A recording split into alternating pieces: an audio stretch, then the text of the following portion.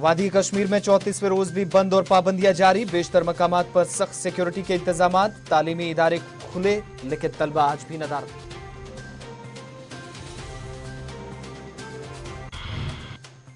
चाँद के करीब पहुंचकर भी दूर रह गया चंद्रयान टू।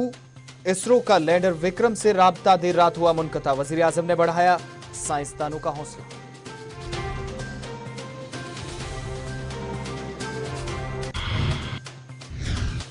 शेरगढ़ जम्मू में मकामी लोगों का जोरदार एहतजाज, कहा सरकारी खजाने से निकलने वाला पैसा आवाम तक नहीं पहुँचा।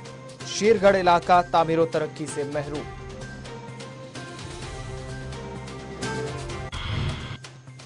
और भगवती नगर, जम्मू में गंदगी और गलाजत के लगे ढेर, लोगों ने किया बरहमी का इजहार। इलाके में मोहलक बीमारियाँ फूटने का खतरा लाहक। आवाम परेशान, इंतजामिया खामोश।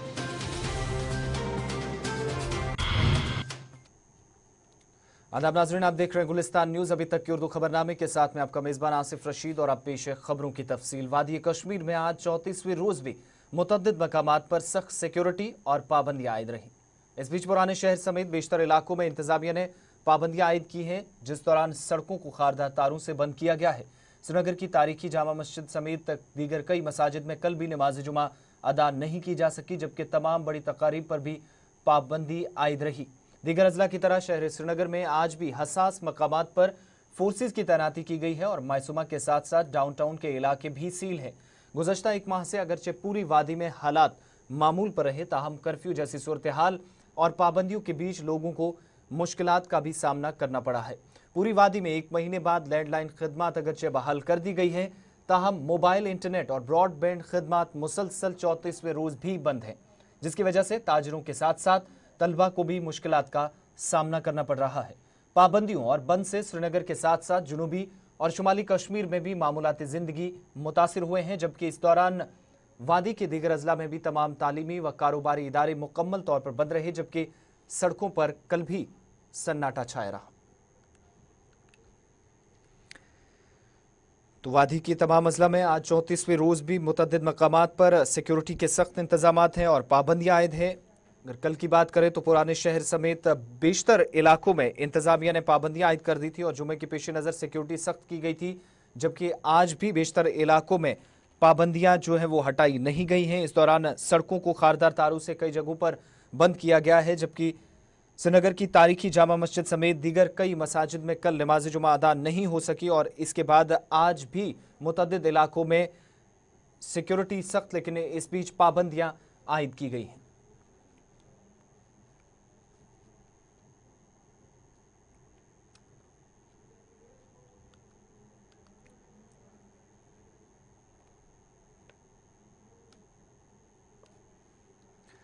हज़रत इमाम हुसैन रदील्ला तु और उनके रफ़ा की बेमिसाल कुर्बानियों की याद में मुल्क भर में मातमी जुलूस बरामद किए जा रहे हैं। जुलूस अपने रिवायती रास्तों पर रवा दवा हैं, जो शाम को अपनी मंजिल पर पहुँच कर अख्ताम पजीर हो रहे हैं।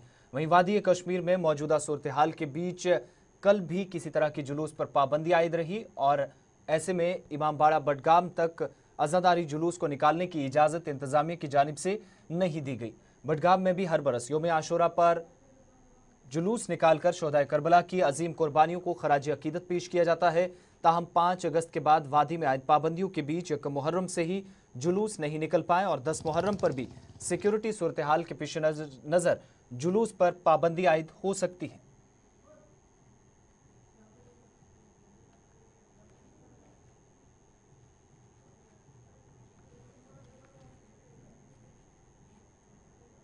वहीं जनूबी कश्मीर के माफ़ कीजिएगा, शुमाली कश्मीर के जिला बारामूला में भी आज सुबह मिल्टन टू की फायरिंग में चार अफराद जख्मी हुए हैं। वाक़ा आज सुबह डंगरपुरा सोपुर का है, जहाँ पुलिस राय के मुताबिक मिल्टन टू ने कुछ लोगों पर गोलियाँ चलाई, जिसके नतीजे में चार अफराद जख्मी हुए। बताया जा रहा है कि जख्मियों में एक कमसिन बच्ची भी शामिल है, जिन्हें इलाज मुआवजे के लिए अस्पताल में मुंतकिल किया गया। इधर पुलिस ने जाए वारदात पर पहुंचकर मामले की नस्बत तहकीकात शुरू कर दी हैं। मजीद तफसीत के लिए एग्जीक्यूटिव एडिटर इशफाक गौहर हमारे साथ हैं। इशफाक पहले तो ये बताइए कि वादी की ताज़ा सूरत हाल आज क्या है? कल मुतद मकाम पर पाबंदियाँ आयद रही और कल के मुकाबले आज क्या कुछ सूरत हाल में बेहतरी देखी जा रही है? देखिए कल चूँकि जुम्मतुल मुबारक था और जुम्मतुल मुबारक के पेश नज़र पाँच अगस्त के बाद हमने देखा है कि सख्तियाँ काफ़ी ज़्यादा रहती हैं और लगातार कोशिश की जाती है सरकार की तरफ़ से कि किसी भी जगह पर बड़ा इज्तिमा ना हो और जो इंतहाई हसास तरीन इलाके हैं वहाँ पर बिल्कुल भी जो है किसी को आगे पीछे चलने की इजाज़त नहीं होती है। सख्तियाँ काफ़ी ज़्यादा रहती हैं। लेकिन अगर आज की हम बात करें चूँकि कल का दिन बाय लार्ज पीसफुल निकला है चंद मकाम पर पथराव की कुछ वारदातें ज़रूर हुई है। जी। अगर आज की बात करें तो आज सिविल लाइंस में थोड़ी सी गाड़ियाँ जो है वो रफ्तार बढ़ती हुई नज़र आ रही हैं प्राइवेट व्हीकल्स पब्लिक ट्रांसपोर्ट पिछले तैंतीस दिन से लगातार जो है वो नहीं है। शटल डाउन आज आपको एंटायर श्रीनगर मिलेगा। न सिर्फ़। Civil Lines area shuttle down है। डाउनटाउन के अंदर भी दुकानें जो है शटल डाउन है। यक्का दुका कोई गली कोचे या नुकड़ की कोई दुकान है जो आपको कहीं आधी शटल वाली खुली मिलेगी और वो मकामी तौर पर लोग वहाँ से खरीद नौश की चीज़ें जो है वो खरीद रहे हैं। सुबह हम देखते हैं पिछले कई दिनों से हमने देखा कि आजकल सुबह चार साढ़े चार पाँच बजे के आसपास जो मकामी मार्केट है वो खुल जाता है और आठ नौ बजे आसपास तक वो चलता है और नौ बजे के बाद शटल डाउन होता है। लेकिन लाल चौक के आसपास वाले इलाके में इस तरीके की कोई सरगर्मी नहीं है यह मकामी तौर हम देख रहे हैं। लेकिन आज की अगर हम बात करें तो आज सिविल ट्रैफ़िक यानी प्राइवेट ट्रैफ़िक जो है वो थोड़ा सा आपको नज़र आ रहा है स्कूलों के अंदर सरकारी सतह पर यही लगातार कहा जा रहा है कि खोले हैं। जी। खोलने के साथ साथ जो है वो अभी तक बहाल नहीं हो पाया है। ईद उल अजहा चली गई लेकिन ईद उल अजहा जाने के बाद सबकी नज़रें जो थी वो मुहर्रम हराम पर थी। और सात आठ नौ और दस ये इंतहाई अहम दिन रहते हैं कश्मीर वादी के अंदर। जब आज़ादारी के बड़े बड़े जुलूस बरामद होते थे और मकामी रिवायती रास्तों से वो चला करते थे। न सिर्फ़ वादी कश्मीर के अंदर जम्मू के अंदर और लद्दाख के अंदर भी इसी तरीके के रिवायती मातमी जुलूस जो थे वो बरामद होते थे। लद्दाख के जो मौसला इतला है वहाँ पर मातमी जुलूस जो है वो यकुम मुहर्रम से ही लगातार ताजिए और मजलिसों का अहतमाम जो है वो चल रहा है। अगरचे दफ़ा एक सौ चौवालीस पहले दिन कुछ दिनों नाफिज रहा था, लेकिन बाद में वो हट गया था, इसलिए वहाँ पर इसका कोई असर जो है वो नज़र नहीं आ रहा है। जम्मू सूबे के अंदर भी कल हमने देखा कि मातमी जुलूस जो है वो रिवायती रास्ते से निकला और सिक्योरिटी का बंदोबस्त जो वो किया हुआ था और वहाँ पर कल हमने इस तरीके की कार्रवाई देखी। लेकिन श्रीनगर आते आते मुहर्रमी मुहर्रम के अयाम के दौरान जो है वो जुलूस अज़ा जो है बरामद करने की इजाज़त किसी को भी नहीं है। दफ़ा एक सौ चौवालीस नाफजुल अमर है। और मकामी तौर पर अ, कहा गया कि आप मकामी तौर पर ही वहाँ छोटी छोटी मजलिसें करें और बड़े जुलूस को बरामद करने की किसी तरीके से किसी को भी इजाज़त नहीं है। और यही हाल बड़गाम के अंदर भी है श्रीनगर के अंदर भी है और साउथ कश्मीर और नॉर्थ कश्मीर से भी जिस तरीके से जुलूस बरामद हुआ करते थे आठ नौ और दस तारीख को उन पर लगातार पाबंदी जो है वो आई है इशफाक जरा इस पर भी अपडेट कीजिए क्योंकि शुमाली कश्मीर के सोपोर से आज सुबह खबर ये मिली कि यहाँ पर मिल्टन टू की फायरिंग से चार लोग जख्मी हुए हैं। मजीद तफसीलात क्या कुछ मिल पाई हैं इस हवाले से इस खबर को लेकर?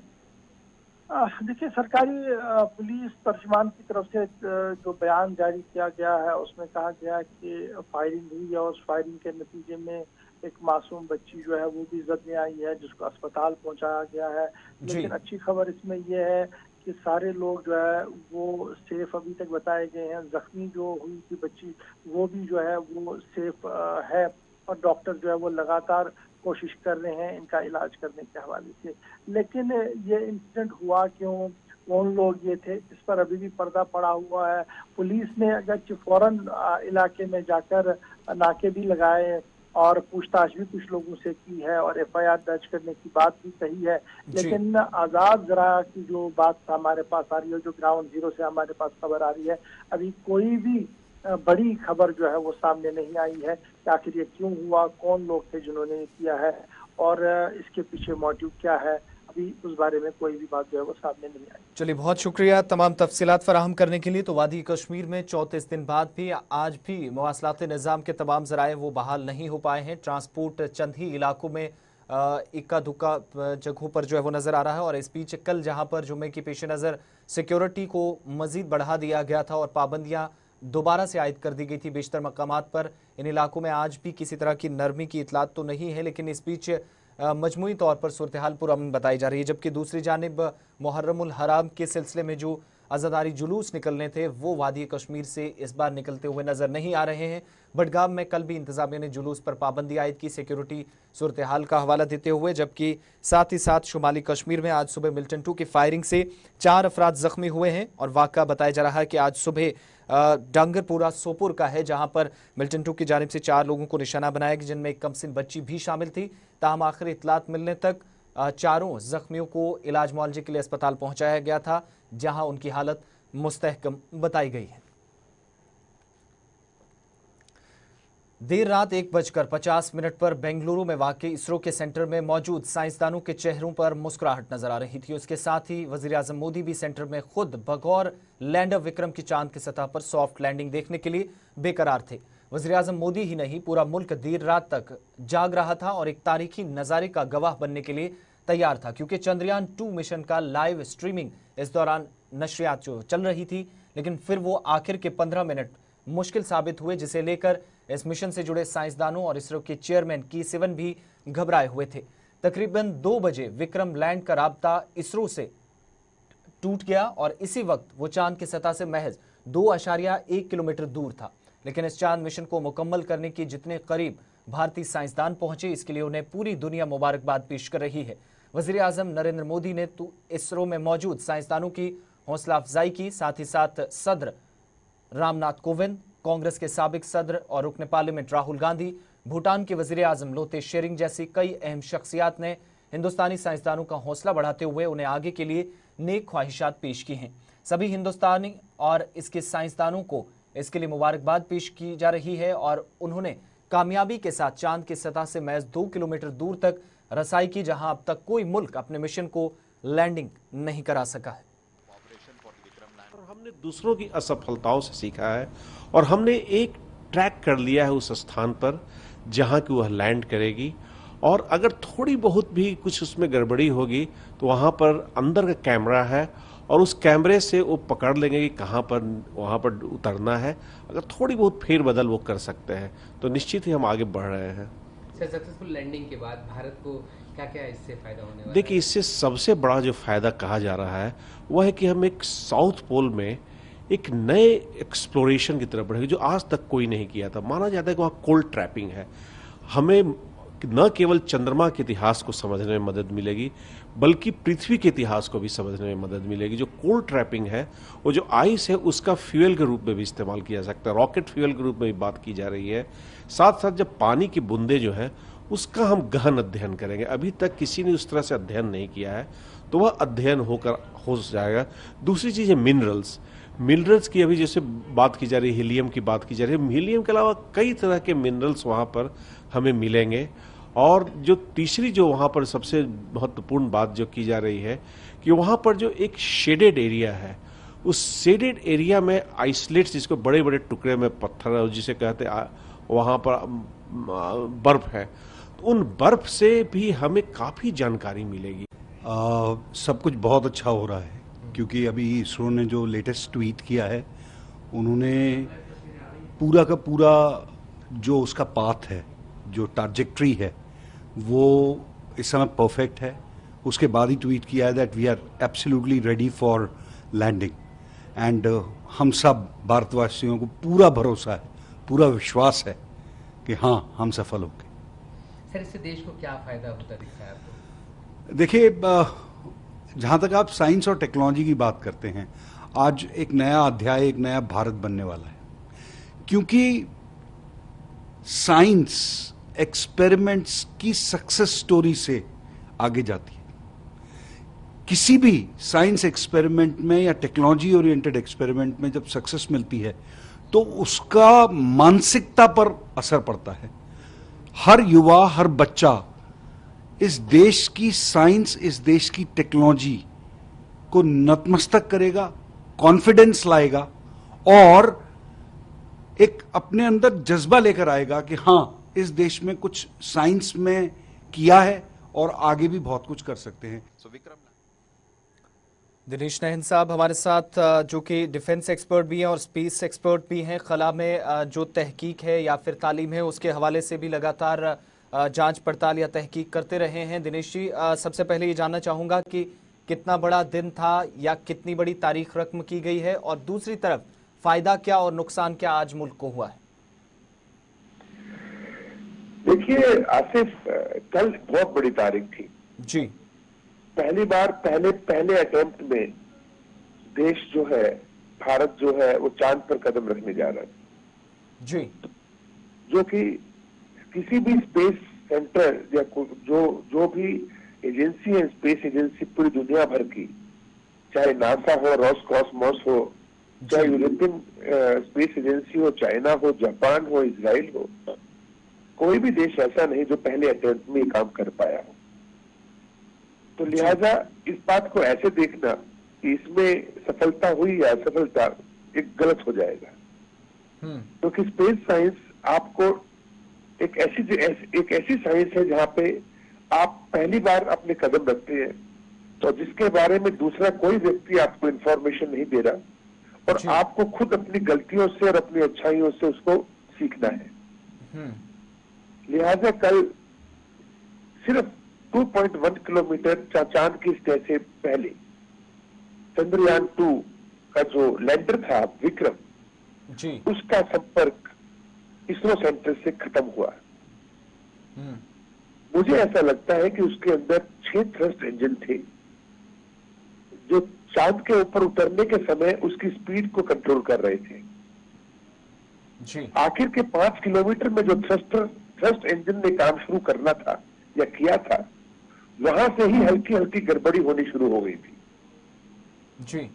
और उसके करीब ये कह लीजिए कि आधा डिस्टेंस कवर करने के बाद या 40 सेकंड से लेकर 40 सेकंड के अंतर अंदर अंदर जी। तो चंद्र चंद्रयान टू के जो विक्रम था लैंडर था उससे संपर्क खत्म हो गया। हम्म। बाकी चीज़ तो अभी देखिए बहुत डाटा है। 19 स्पेस सेंटर्स थे पूरे विश्व के अंदर। अपने हिंदुस्तान के जो भारत के स्पेस सेंटर्स हैं पाँच इंडिया में थे बाकी सात के करीब आपके अपने पड़ोसी दोस्त जो देश है भूटान नेपाल बांग्लादेश श्रीलंका मालदीव्स इंडोनेशिया इन सब के ऊपर लगे हुए थे। और बाकी रॉसकॉस्मोस रशिया का हो या या अपना यूरोपियन स्पेस सेंटर्स है नासा है इनके जो डीप स्टेशन नेटवर्क सेंटर्स हैं वो भी इसको ट्रैकिंग कर रहे थे। तो सबके पास से इसकी इंफॉर्मेशन आई है। सबके पास जो डाटा कलेक्ट हुआ है उसको लेके और उस डाटा को देखा जाएगा एनालाइज किया जाएगा और फिर किसी निष्कर्ष पे पहुँचा जाएगा। परंतु भारत ने बहुत बड़ी बहुत बड़ी सफलता हासिल की है क्योंकि अगर आपको याद हो अपोलो 11 के उतरने से पहले जो पहला उससे पहले वाला अपोलो का जो मिशन अमेरिका ने चाँद पे भेजा था वो सिर्फ़ चाँद से चाँद की स्टेज से चौदह किलोमीटर पहले चौदह किलोमीटर दूर तक चक्कर मार के वापस आ गया आगे की स्टडी करके। तो हमें हम तो दो किलोमीटर तक पहुँच चुके हैं। तो साइंटिस्ट के पास वो पूरा डेटा होगा। अब चाँद हमारे से दूर नहीं। मैं ये कहना चाहूँगा। चलिए बहुत शुक्रिया अपना कीमती वक्त देने के लिए और अपनी बात रखने के लिए दिनेश जी। तो बहुत बड़ा दिन मुल्क की तारीख में हालाँकि भले ही चंद्रयान टू का मिशन जो है मुकम्मल तौर पर कामयाब ना हो पाया है, लेकिन चौथा ऐसा मुल्क अमेरिका, चीन और रूस के बाद भारत, जिसने ये उपलब्धि, जिसने कामयाबी हासिल की है, बहुत बड़ी कारकर्दगी और यही वजह है कि आज ना सिर्फ़ मुल्क के अंदर से बल्कि मुल्क के बाहर से भी साइंसदानों को खास तौर से उनकी कारकर्दगी को और नुमाया जो उनका काम रहा है, उसको सराहा जा रहा है उनकी पीठ थपथपाई जा रही है। और वज़ीर आज़म साहब की तरफ़ से भी कहा गया कि कोशिश जारी रहेगी और बहुत बड़ा दिन साइंसदानों के लिए और मुल्क की आवाम के लिए भी। इधर भारत और पाकिस्तान की अफवाज के दरमियान एक बार फिर सरहदी कशीदगी देखने को मिली, जहाँ आज सरहदी जिला पुंछ में दोनों अतराफ से ज़बरदस्त गोलीबारी का तबादला हुआ। आज सुबह करीब आठ बजे पुंछ के मेहडर और केजी सेक्टर में दोनों अतराफ से ज़बरदस्त शेलिंग देखने को मिली। सरहदी गोलीबारी से सरहद के नज़दीक रिहाइश पजीर लोग एक बार फिर डर और खौफ के माहौल में जीने के लिए मजबूर हैं। जमशीद मलिक फ़ोन लाइन पे हमारे साथ हैं। जमशीद मुख्तसर अपडेट दीजिएगा कि इस वक्त की ताज़ा सूरत हाल क्या है सरहदी इलाकों में जहाँ आज सुबह गोलीबारी शुरू हुई थी? जी आसिफ जी इस वक्त गोलाबारी का सिलसिला ज़रूर थमा हुआ है मगर जिस तरह एक बार फिर सुबह पाकिस्तान ने ना जंग माहिदे की खिलाफ वर्जी करते हुए कृष्णा घाटी सेक्टर में गोलाबारी का सिलसिला शुरू किया इससे लोगों में भी काफ़ी दहशत देखने को मिल रही है क्योंकि इन दिनों ये लोग किसान लोग हैं अपनी खेती बाड़ी में नज़र आते हैं और इसी दौरान पाकिस्तान की तरफ़ से ना जंग माहिदे की खिलाफ वर्जी का सिलसिला शुरू होता है जिससे लोगों में काफ़ी दहशत देखने को मिल रही है क्योंकि पिछले एक महीने से लगातार अगर हम लाइन ऑफ़ कंट्रोल की बात करें तो लाइन ऑफ़ कंट्रोल के हालात काफ़ी कशीदा बने हुए हैं जहाँ डिफरेंट चौकियों और इलाकों में पाकिस्तान की तरफ़ से नाजंग माहिदे की खिलाफ वर्जी का सिलसिला जारी है जिसमें इस वक्त अगर हम पूरे इस एक महीने की पिछले एक महीने की बात करें तो पिछले इस एक महीने में तीन जवान और एक आम शहरी के हलाक होने के साथ कई लोग इसमें जख्मी भी हुए हैं और लोगों के माल मवेशी को भी काफ़ी नुकसान पहुँचा है। जी आगू चलिए, बहुत शुक्रिया तफसीत फराहम करने के लिए। तो सरहदी इलाकों में आज सुबह करीब आठ बजे गोलीबारी शुरू हुई। ताहम अब जो इतलात मिल रही हैं, इस वक्त गोलीबारी का सिलसिला थमा ज़रूर है, लेकिन सरहदी कशीदगी के बीच आम लोगों में डर और खौफ का माहौल अब भी बरकरार है। वहीं जम्मू के भगवती नगर इलाके में गंदगी और गलाजत के ढेर मकामी लोगों के लिए दर्द सर बने हुए हैं। लोगों ने जम्मू म्यूनसिपल कॉरपोरेशन पर भी इल्ज़ाम आयद किया कि अगरचे इस हवाले से कई मरतबा इंतजामिया को आगाह किया गया, ताम बावजूद इसके उनके मुतालबात को संजीदगी से नहीं लिया गया, जबकि इलाके में गंदगी और गलाजत के ढेर मुतद जगह पर होने से कई इलाकों में मोहलक बीमारियाँ फूटने का भी खदशा बढ़ रहा है। जम्मू के भगवती नगर इलाके की तस्वीरें आप देख रहे हैं, जहाँ पर म्यूनसिपल कॉरपोरेशन की जानब से भी गाड़ियों के ज़रिए डंपिंग की जाती है। डंपिंग यार्ड बना दिया गया है। गंदगी और गलाजत अलग अलग जगहों से पूरा कूड़ा और कचरा जो है वो इकट्ठा करके भगवती नगर के इस इलाके में फेंका जाता है और मकामी लोगों की माने तो इसी जहाँ पर ये डंपिंग यार्ड बनाया गया है। इसके आसपास रिहाइश पजीर लोग हैं और सैकड़ों लोग इससे मुतासर हो रहे हैं और इलाके में मोहलक बीमारियाँ फूटने का खतरा बना हुआ है और सड़क के किनारे पर जिस तरीके से गंदगी के ढेर लगाए जा रहे हैं, इससे यहाँ पर जो जानवर हैं, वो भी खुलेआम घूम रहे हैं, जिसकी वजह से बीमारियाँ मजीद तेज़ी के साथ बढ़ सकती हैं इस इलाके में और लोगों के खदशात बढ़ते जा रहे हैं। आपके सामने ये जो हाल आप देख रहे हैं कि ये कुछ बाड़ों का कूड़ा उठा के जहाँ मेन रोड पे फेंकते हैं, हमने बड़ी बार मिश्र साहब से भी गुहार लगाई। मेयर साहब को ही बोला, लेकिन उनके कान तक जू तक नहीं देंगी आप देख लो कि जानवर कैसे खुले में जे, कूड़े को खा रहे हैं, और कूड़ा बिनने वाले भी कूड़ा बिन रहे हैं। कितनी ट्रैफ़िक चल रही है। जहाँ पर बिल्कुल पास में अमरनाथ यात्री निवास का बेस कैंप है। कारपोरेटर के आगे हम गुहार करते हैं, वो कारपोरेटर साहब जाते हैं वहाँ पे, लेकिन उनको पता नहीं क्या आश्वासन देते हैं ये कारपोरेटर साहब को बेचारे को। वो तो जाता रहता है ऑफ़िस में। आप देखिए आपके बिल्कुल बैक साइड में इंडोर स्टेडियम बन रहा है। इसके साथ पीछे साथ में आगे इंटरनेशनल स्टेडियम बन रहा है।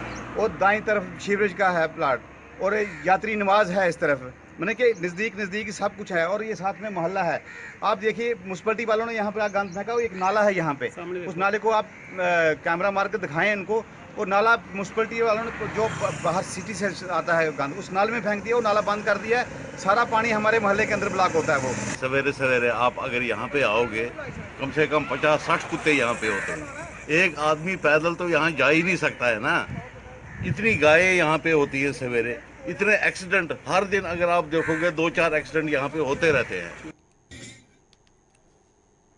जम्मू के शेरगढ़ इलाके में भी आज मकामी लोगों की जानब से एहतजाज किया गया, जिस दौरान इन लोगों ने अपने मुतालबात इंतजामिया के सामने रखे। मकामी लोगों के मुताबिक चंद रोज कबल रियासती इंतजामिया की जानब से 121 करोड़ रुपए जो तामीर और तरक्की के लिए खर्च करने की बात कही गई है।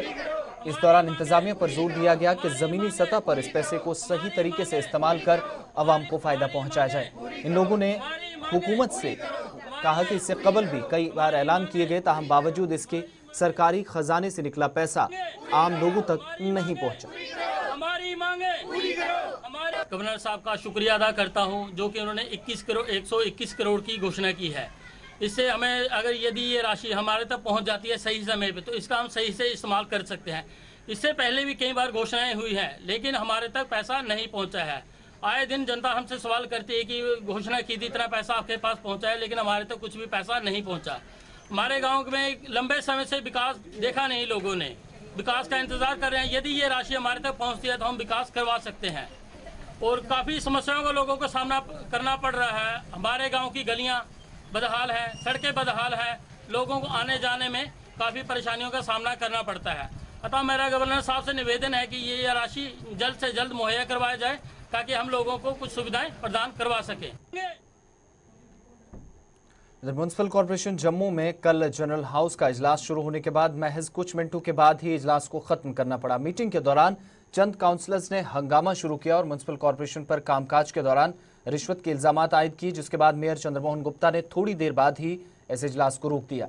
बीजेपी के ही काउंसलर्स ने कॉरपोरेशन पर रिश्वत के इल्ज़ाम आयद किए और काउंसलर्स के इल्ज़ाम पर जम्मू म्यूनसिपल कॉरपोरेशन के मेयर चंद्रमोहन गुप्ता ने कहा कि काउंसलर्स जब तक उन्हें तहरीरी शिकायत नहीं करेंगे तब तक वो इस पर कार्रवाई नहीं करेंगे। उनने बात की हमारे social media incharge Ashish Kohli से। मेयर चंद्रमोहन गुप्ता जी हमारे साथ बात करने के लिए। मेयर साहब, आज जो हाउस सस्पेंड हुआ है, जिसके ऊपर, जिसमें एक कारण ये भी सामने आ रहा है कि एक भाजपा के ही जो हैं कॉरपोरेटर हैं, उन्होंने कुछ एलिगेशन लगाए हैं करप्शन के चार्जेस के। क्या ये पूरा मामला है और क्या इन एलिगेशन के ऊपर अब कार्रवाई करने जा रहा है हाउस बहुत अच्छी बात है। हमारा अगर भाजपा का, हम, हमारा नारा ही यही, सिद्धांत ही यही है। सबका साथ, सबका विकास, सबका विश्वास। ज़ीरो टॉलरेंस हमारी करप्शन है। हमारे प्रधानमंत्री जी हों, चाहे हमारे अमित शाह जी, हमारे होम मिनिस्टर हों, हर जगह आप देखो, आज बड़े बड़े जो महारथी हैं आपने, आपको महारथी कहने वाले, पी चंद्रम जैसे होम मिनिस्टर और फाइनेंस मिनिस्टर आज वो तिहाड़ जेल के अंदर हैं। इसी तरह हम कोई भी करप्शन को टॉलरेट नहीं करेंगे।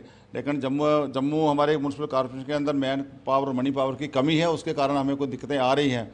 मैंने हाउस में आश्वासन दिलाया अपने ऑनरेबल मेंबर को कि आप आप रिटर्न में दीजिए इमीडिएट आप उसका हमें दीजिए, उसके ऊपर हम इंक्वायरी कराएँगे।